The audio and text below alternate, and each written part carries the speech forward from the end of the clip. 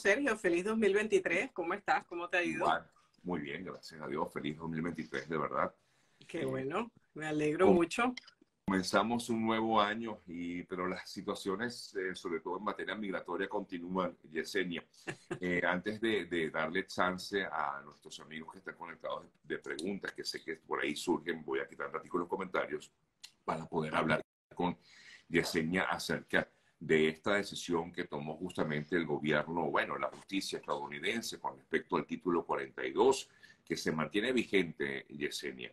Eh, se había hablado incluso de que iba a haber cambios, que iba a aplicarse el llamado título 8. No obstante, pues la justicia estadounidense decidió que no, que continuará vigente el título 42. ¿Qué implica esto, Yesenia, para comenzar nuestra conversación? Bueno, primero que todo, eso lo primero que implica es que sencillamente continúa eh, prohibido, vamos a decirlo así, el paso ilegal al país. Eso, es así, eso fue implementado por, por, la administración de Trump a raíz de lo del COVID, como lo sabemos todos, para, para supuestamente eh, bajar el impacto que estaba causando la cantidad de personas que estaban entrando de manera ilegal al país, los contagios, había muchas personas detenidas en, en los centros, valga la redundancia, de detención, de inmigración, y eso estaba haciendo que el spread del, que el contagio fuera mucho más, más alto, ¿no? Entonces esa fue la razón inicial y el CDC el año pasado, eh, creo que fue más o menos como a mediados de año o casi principios de, de semestre, este, dijo de que ya no había como como un riesgo alto de contagio por esa razón. Sin embargo, hemos visto que el gobierno, entre el gobierno, inmigración, los partidos políticos han estado debatiendo demasiado, haciendo presión de un lado del otro, quítalo o no lo quites. Eh, yo creo que ya de alguna manera, más allá que el tema de la pandemia, que fue realmente la razón de la, de la activación del tamaño del, del llamado título 42, ya se ha convertido en un control de inmigración ilegal. Eso es lo que, lo, que me parece y yo creería, especulando un poco, y quiero dejar claro que no es más que una especulación, no es que vaya a ocurrir, ni, sea así, es sencillamente mi opinión, que es que eh, en algún momento van a hacer algún tipo, tal vez no lo van a llamar el título 42, va a ser otro tipo de ley que va a restringir un poco más el tema de la entrada ilegal al país por razones de seguridad, por razones sanitarias, por razones humanas, por cualquier cantidad de razones. De todas maneras, hay una realidad, Sergio, las personas que entran, nadie tiene garantizada la entrada. Mucha gente entra y lo deportan. Lo que pasa es que a veces uno escucha del que entra y lo dejaron pasar, ¿sí? Y además eh, eh, hay que recordar siempre que muchas personas que entran, lo dejan entrar, lo procesan y después tienen una orden de deportación porque el asilo no fue bien fundado, porque no tenían las pruebas. Recuerden que una cosa es la que decimos y otra cosa es lo que podemos comprobar. Son dos cosas que hay que tener en cuenta. Entonces, eh, yo creo, honestamente, que lo que va a ocurrir es que va a haber algún, algún mecanismo que va a, quitar la vigencia, vamos a decirlo así, de este título 42, pero va a poner algunas medidas eh, similares o de mayores controles, porque la realidad es que, que, que bueno, o sea, continúa habiendo inmigración ilegal. Continúa, continúa, incluso la, la, inmigración ilegal, ilegal por el río, por una cantidad de cosas, o sea, eso sigue ocurriendo. Sí, eh, eh, otra, la otra gran consulta, y que sé que muchos la tienen aquí en nuestro programa hoy, ya me han escrito varios, el paro humanitario, por supuesto, sí. Yesenia. Muchos te preguntan qué ha pasado, incluso algunos piensan que está paralizado el, el, el parol, que no dieron respuesta, que ya consiguieron el número de personas, perdón, el, el, el, número de, de, de, aprobaciones que en teoría se tenía. ¿Qué información hay al respecto? Mira, eh, yo realmente no he escuchado absolutamente nada de que esté paralizado. Lo que sí lo he notado es mucho más lento de lo normal. Eh, ha habido gran cantidad de personas que han aplicado y están esperando desde octubre, desde finales de septiembre, qué sé yo, hace, hace rato, vienen, vienen esperando y no les han salido. He escuchado de otros que sí, ya les han empezado a salir las decisiones.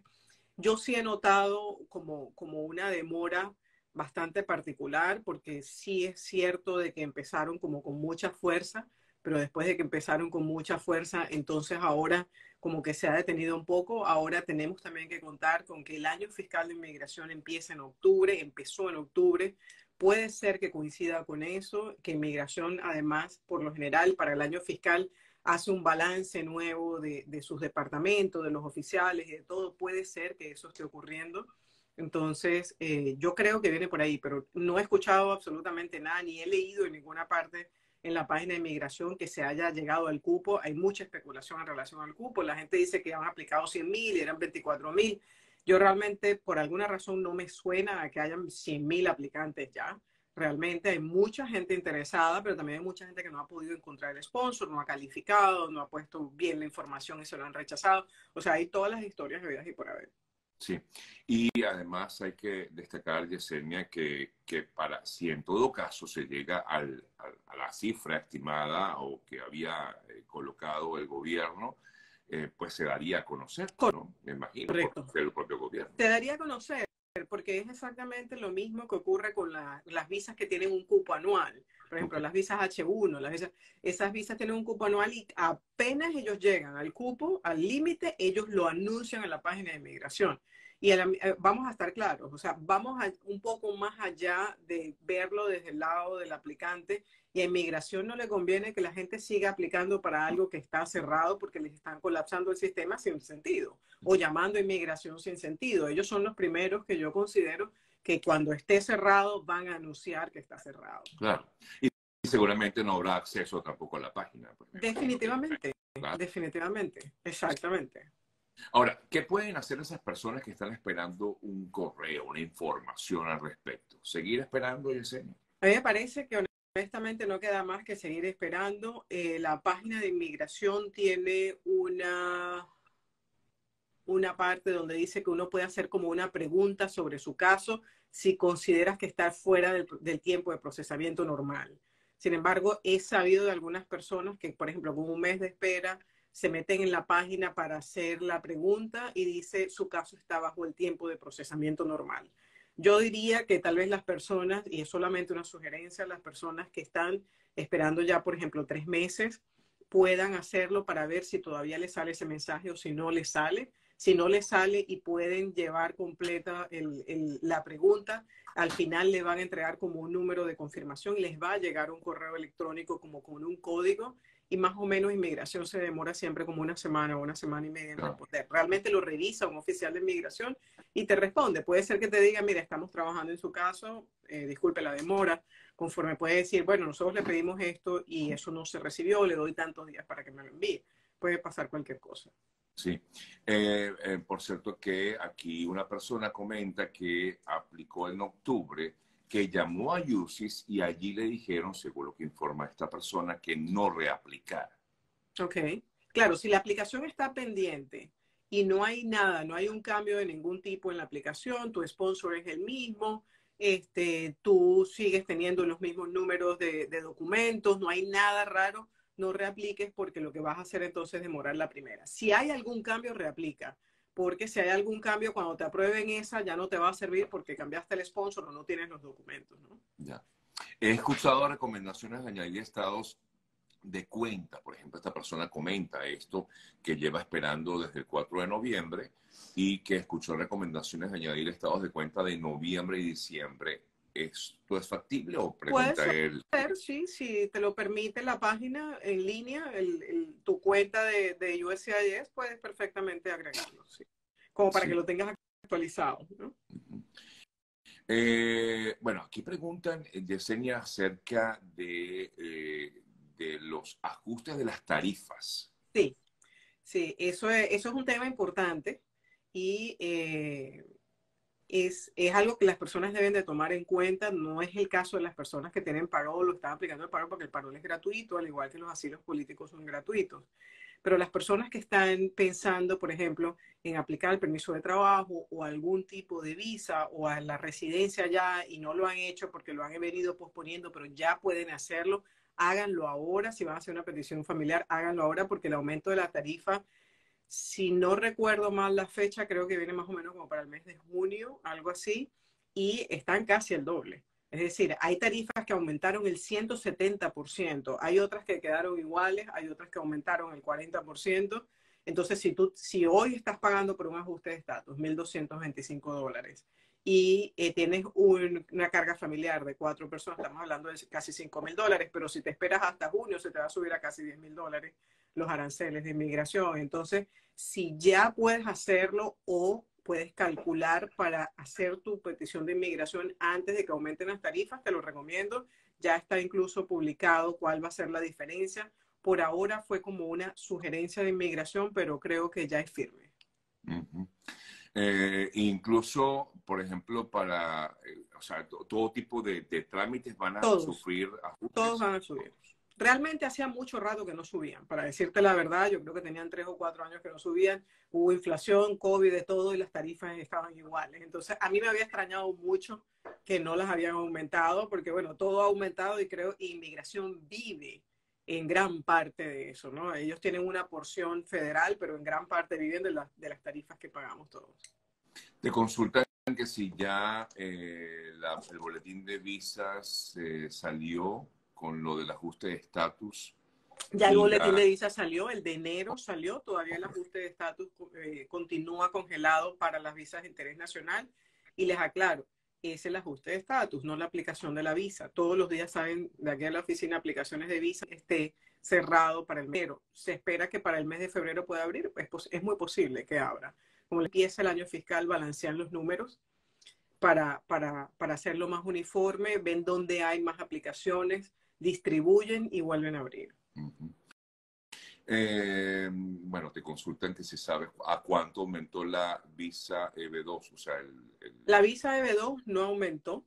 Eh, realmente lo que puede haber aumentado, y no tengo aquí conmigo la tabla porque tendría que abrir la computadora y sentarme a mirarla, es el arancel eh, de la I-140. Y ese te consultan qué pasa con la I-160, no, I-601 no entiendo qué pasa con la I-601. o sea, esta persona dice, el perdón I-601, ¿por qué subieron tanto los meses? ¿Volverán a bajar? No sé de qué me habla. Ah, ya, esos son los, ya, ese es el perdón por estadía ilegal o, o entrada ilegal al país. Este, no sé por qué subieron tanto. Yo creo que es que, bueno, se llenaron demasiado de aplicaciones o le bajaron la cantidad de oficiales que tenían adjudicándolos y los pasaron para otro lado. O sea, pueden pasar diferentes cosas. A veces sí, inmigración baja los tiempos, pero yo les recomiendo algo. Los tiempos que están publicados en la página de inmigración no son 100% correctos.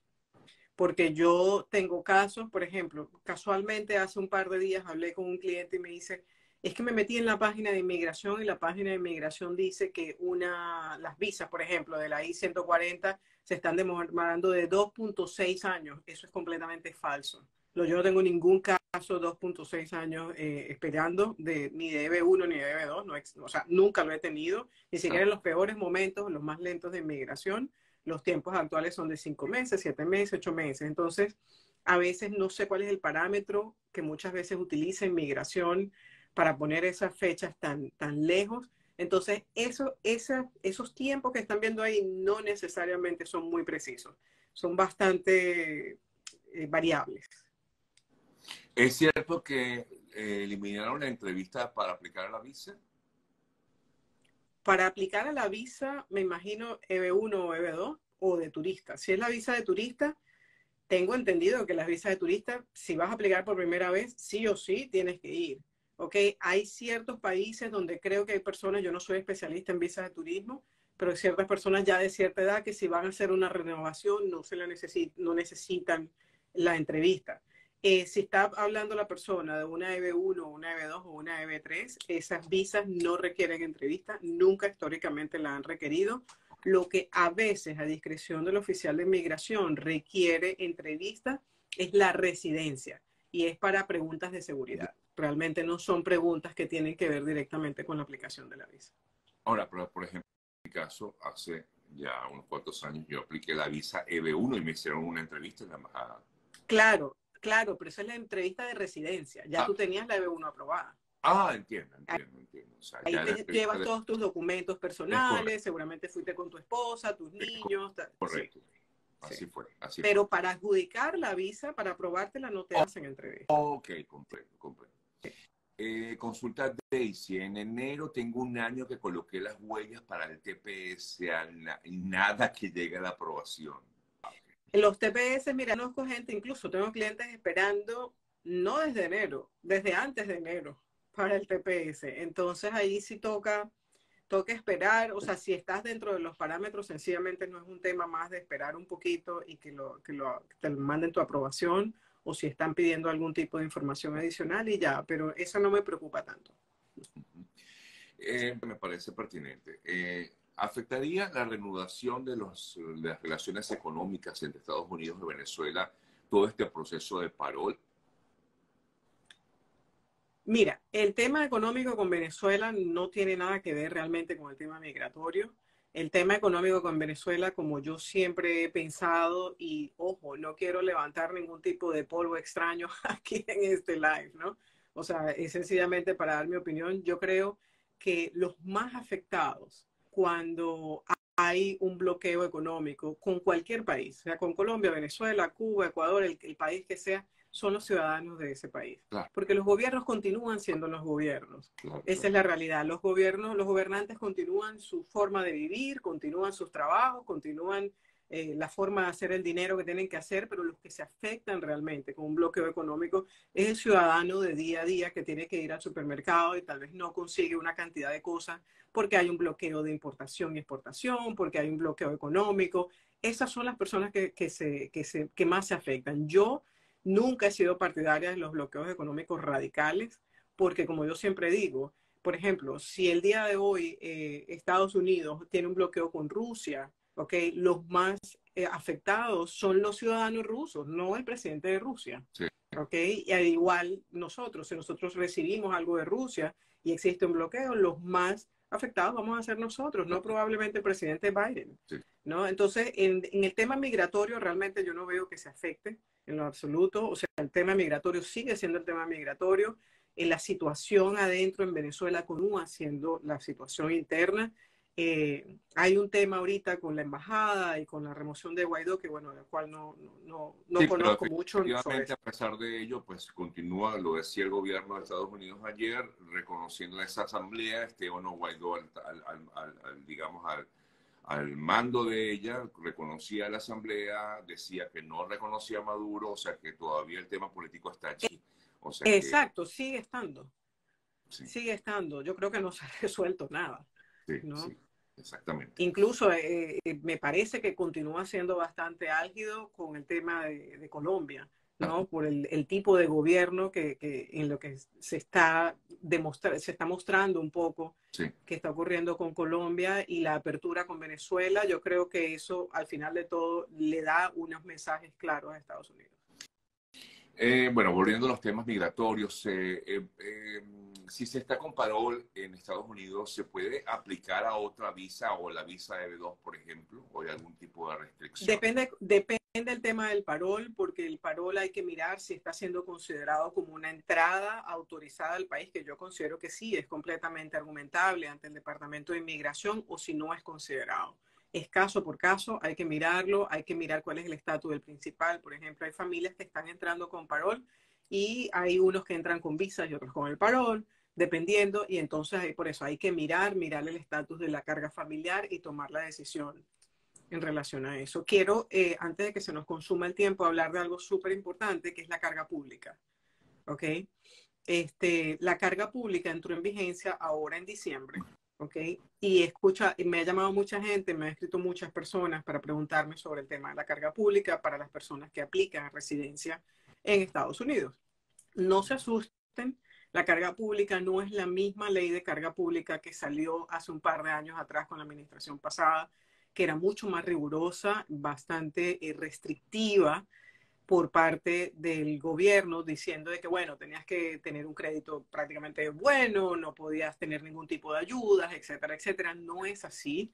Realmente incluso para las personas que están aplicando asilo o tienen asilo, para las personas que tienen TPS, para las personas que tienen VAWA, a esas personas ni siquiera les aplica esta ley. Y para las personas que no están bajo esos parámetros, ni de asilo, ni de TPS, ni de VAWA, realmente la carga pública lo único que está tratando de determinar es si tú eres una persona que estás viviendo aquí en el país y eres un dependiente directo del gobierno, de beneficios gubernamentales, como beneficios en efectivo porque te fuiste al seguro social y dijiste que no tienes nada de dinero y no puedes vivir y necesitas que te manden un cheque. Ahora, eso es un poco contraproducente, ¿ok? Porque generalmente la persona que pide algún tipo de ayuda es una persona que está en un proceso de asilo o un asilo aprobado y ese no califica para ser parte de esta ley de, de carga pública. Así no tiene nada que preocuparse. Realmente para mí no fue más que algo que se agregó a la forma I-485 de residencia, donde si tú no aplicas a eso, no aplicas, si no, no estás dentro de los parámetros, este, sencillamente no tienes de nada de que preocuparte, de que tengas Medicare, eh, que tengas eh, Obamacare, el seguro subsidiado por el gobierno, eso no te afecta en nada. Eh, si tienes, si los niños están en el colegio, si los niños reciben colegio público, si los niños reciben el almuerzo, el desayuno en el colegio, nada de eso te va a afectar. ¿Te consultan la ayuda estudiantil cuenta como carga pública? No, eso no es una carga pública. Créanme que es bastante, es bastante restringido. No, no se alarmen porque hay muchas personas preocupadas y dicen, bueno, pero es que yo, eh, entonces ahora no voy a poder aplicar a la residencia. No es su caso. Créanme que no es su caso. En la página de inmigración Incluso están quienes nos aplican y cuáles son los beneficios de gobierno que son considerados una carga pública. La mayoría de las personas, ¿ok?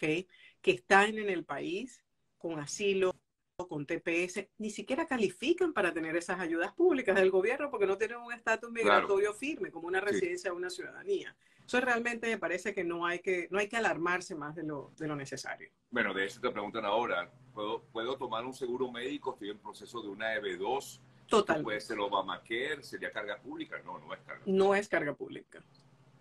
Así que no se, no se preocupe. Lo que pasa es que a veces, este, bueno, hay información que no está como bien eh, eh, digerible, ¿no? ¿no? No, es fácil de digerir. Claro. Por eso es que hay mucha preocupación. no, y a veces ocurre algo muy particular y es que por lo general uno, no sé, en la mañana o en la noche se acuesta y ve la televisión, ve las noticias, entonces ponen cosas como ahora los inmigrantes no podrán aplicar a la residencia permanente por la ley de carga pública, entonces uno de inmediato piensa que es para uno y que uno ya no puede aplicar. Realmente no tiene nada que ver con eso. Es cuestión de buscar un poquito de información, irse a la fuente como tal y verificar qué es lo que a ti te, te afecta y qué es lo que no te afecta. ¿Los bonos alimenticios cuentan como carga pública? No, no. Lo que, lo que cuenta como carga pública son ayudas, sobre todo ayudas cash del gobierno, ¿ok? Eh, como te digo, hay, por ejemplo, hay personas que aplican para, por ejemplo, no sé, dicen, eh, estoy deshabilitado, no puedo trabajar y yo necesito que el gobierno me mantenga, ¿ok? Me mándame un cheque mensual a mi casa y págame el, el apartamento donde vivo ese tipo de cosas es como, es un poquito extremo, incluso lo pensaría yo. Este, yo les invito a que vayan a la página de USCIS, ahí ponen carga pública como tal y les va a aparecer, hacen clic, ahí está el link en español y lo leen exactamente qué es lo que es y lo que no es y aparte la mayoría, por ejemplo, las personas que están fuera del país tienen cero que preocuparse porque esas personas no tienen nada que ver aquí con ningún tipo de beneficio gubernamental. Y las personas que están adentro del país la verdad, la mayoría tiene un asilo político, la mayoría tiene un TPS o la mayoría ni siquiera tiene ningún tipo, porque tengo que reconocer que hay muchas personas que viven aquí que incluso pudieran optar a tener ciertas ayudas del gobierno por ser inmigrantes, un, por, para un humanitario, lo que sea, y no las usan justamente porque no saben si esto les puede afectar o no. Yesenia, permíteme hacer tres preguntas más para ir cerrando ya nuestra transmisión del día de hoy. Eh, por aquí voy a agarrar esta que dice alguien, vuelvo a preguntar, envié mi caso por correo a Texas, no he recibido nada eh, de parte de ellos, ¿qué puedo hacer? Eso fue en julio. Desde ¿Su caso de qué? Bueno, no, pues, me imagino que lo habrá comentado antes, por eso dice, vuelvo a preguntar, me imagino que es su caso como tal, ¿qué puede hacer? No sé si es un caso de asilo político, porque bueno, hay unos casos de asilo dependiendo de dónde la persona viva que se envían a Texas yo escuché que los asilos políticos, los recibos del asilo político están muy demorados, pero bastante eh, demorados. Entonces, pero de julio es como bastante, porque estamos hablando ya de que seis meses, más o menos. Es bastante. Yo te sugeriría mandar una carta a la oficina de asilos que te corresponda o hablar con el abogado que te hizo el caso para que el abogado vaya a inmigración o haga una llamada por teléfono y verifique, asegúrate también que la dirección estaba correcta y que eh, cuando, cuando que lo hayas enviado con, con, verificación de entrega, ¿ok? Para que tengas la confirmación y por ninguna razón te vayas a quedar por fuera.